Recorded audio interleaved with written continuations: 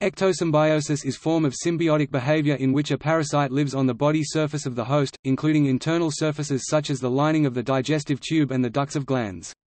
The parasitic species is generally an immobile, or sessile, organism existing off of biotic substrate through mutualism, commensalism, or parasitism. Ectosymbiosis is found throughout a diverse array of environments and in many different species. In some species the symbiotic environment provided by both the parasite and host are mutually beneficial. In recent research it has been found that these microflora will evolve and diversify rapidly in response to a change in the external environment, in order to stabilize and maintain a beneficial ectosymbiotic environment.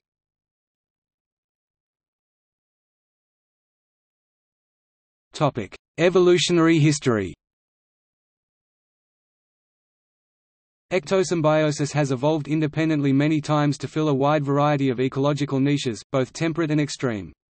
Such temperate regions include the seas off the coast of Singapore while the extreme regions reach to the depths of Antarctica and hydrothermal vents. It likely evolved as a niche specialization, which allowed for greater diversity in ectosymbiotic behavior among species. Additionally, in the case of mutualism, the evolution improved the fitness of both species involved, propagating the success of ectosymbiosis. Ectosymbiosis has independently evolved through convergent evolution in all domains of life. Ectosymbiosis allows niches to form that would otherwise be unable to exist without the support of their host.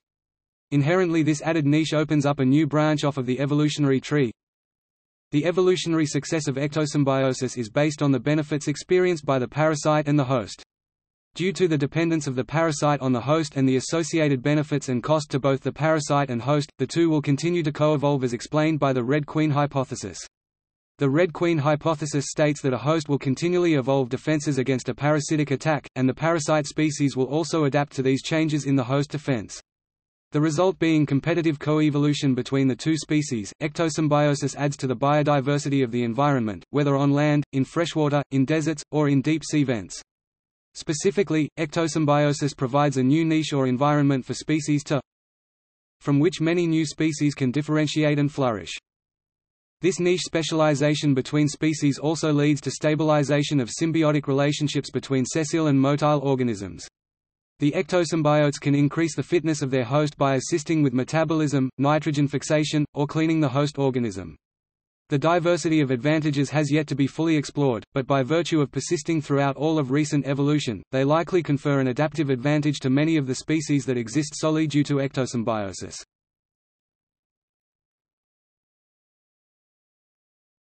Topic: Types of host and parasite dynamic.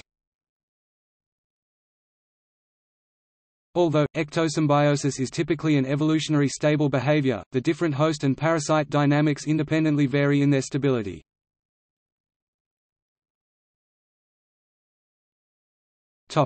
Commensalism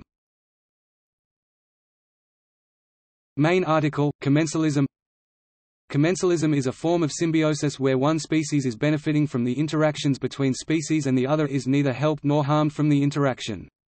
Ectosymbiotic commensalistic behavior is found frequently in organisms that attach themselves to larger species in order to move long distances or scavenge food easily. This is documented in remoras which attach to sharks to scavenge and travel.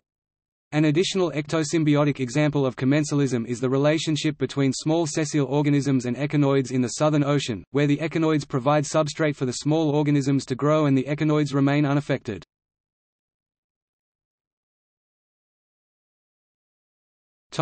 Mutualism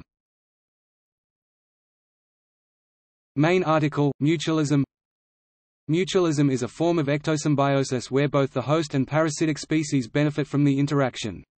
There are many examples of mutualistic ectosymbiosis that occur in nature. One such relationship is between Branchiobdellida and crayfish in which the Branchiobdellida acts as a bacterial gut cleaner for the crayfish species. Another example is the iron oxide-associated chemoautotrophic bacteria found crusted to the gills of Rimicaris exoculata shrimp that provide the shrimp with vital organic material for their survival while simultaneously supporting the bacteria with different organic material that the bacterial cannot produce itself. Groups of organisms, that is greater than a single pair of a host and parasite, can also form mutualistic ectosymbiotic interactions. Bark beetles can work in a dynamic mutualistic fashion with fungi and mites attached to their exoskeletons, both of which feed off of trees to provide vital energy to the beetles while the beetles provide necessary organic material to the fungi and mites to survive. In this case, the relationship between the fungi and mites is functional because while both do the same job, they are optimally functional at different temperatures. Mutualist interactions can be evolutionary unstable because of the constant battle to maximize one's self-benefits. This is due to the limited benefits offered to both the parasite and the host, with the possible outcome for at least one of the species to die out if the other species begins to take advantage of the other. In the case that the mutualistic behavior persists for enough generations, the dynamic can evolve into parasitism, which is a more stable dynamic due to the increased benefit to the parasite that propagates the behavior. In this case the parasite takes advantage of the previously mutualistic host and parasite dynamic, gaining greater benefits for itself.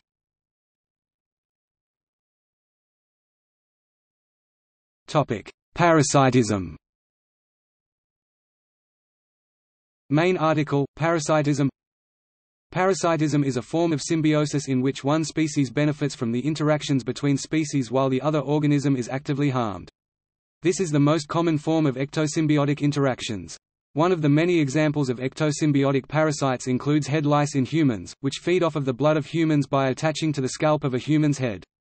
Additionally, mature Branchiobdellida bacteria act as a nutrient thief in the gut of crayfish species to exist. In these cases, the head lice and the Branchiobdellida are both parasites interacting with host species.